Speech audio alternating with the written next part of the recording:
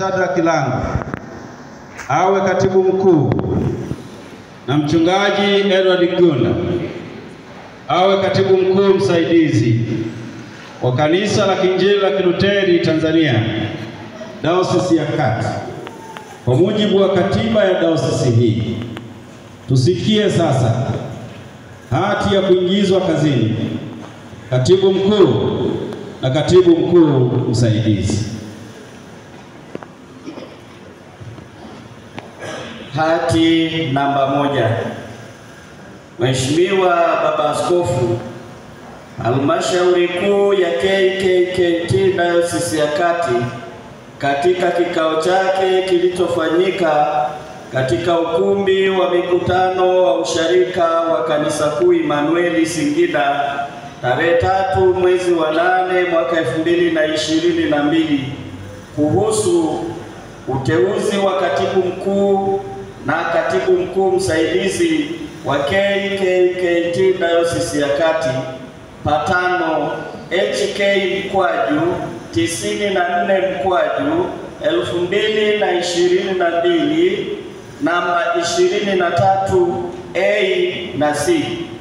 Halmashauri Kuu imeridhia na kumteua mchungaji Shadrack Langu kuwa katibu mkuu na mchungaji Edward Kiunda kuwa katibu mkuu msaidizi wa KKKT Dayosisi ya Kati kwa miaka mitano. Asante sana, asante na wasomaji waliofika mbele tayari kwa wepesi. Asante wasomaji mliofika mbele tayari, na kila mmoja anayolitugia tangu jana. Sasa na tusikie maongozi ya neno la Mungu ya kuonya, kufariji na kutia nguvu katika utumishi wa kanisa lake.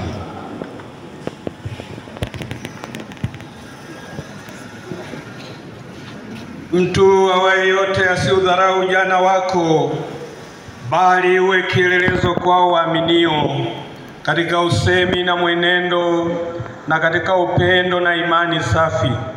Hata nitakapokuja ufanye bidii katika kusoma na kuonya na kufundisha. Usiache kuitumia karama ile uliyo ndani yako uliopewa kwa unabii na kwa kuwawekea mikono wazee.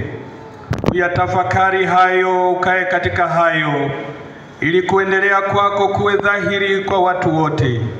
Jitunze nafsi yako na mafundisho yako, dumu katika mambo hayo, maana kwa kufanya hivyo utajiokoa nafsi yako na wale wakusikiao pia. Mtu na tuhesabu hivi kuwa tu watumishi wa Kristo na mawakili wa siri za Mungu. Hapo tena inayohitajiwa katika mawakili ndiyo mtu aonekane kuwa mwaminifu. Amen.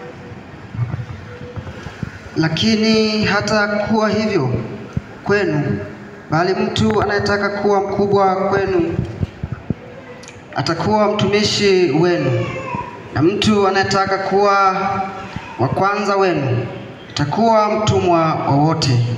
Kwa maana mwana wa Adamu naye hakuja kutumikiwa, bali kutumika na kutoa nafsi yake iwe fidia ya wengi. Amen. Kwa neema, kwa maana kwa neema niliyopewa, nawaambia kila mtu aliyoko kwenu asinie makuu kupita ilivyompasa kunia, bali awe na nia ya kiasi, kama Mungu alivyomgawia kila mtu kiasi kwa imani. Basi ni hivyo, kila mtu miongoni mwetu atatoa habari zake mwenyewe mbele za Mungu. Usiogope, kwa maana mimi ni pamoja nawe. Usifadhaike, kwa maana mimi ni Mungu wako. Nitakutia nguvu, naam, nitakusaidia, naam, nitakushika kwa mkono wangu wa kuume wa haki yangu. Amen.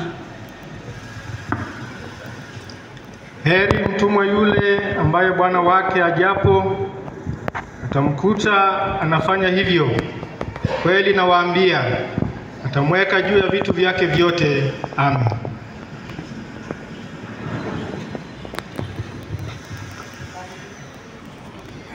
Wewe umetuamuru mausia yako ili sisi tuyatii sana. Ningependa njia zangu ziwe thabiti, nizitii amri zako. Amen.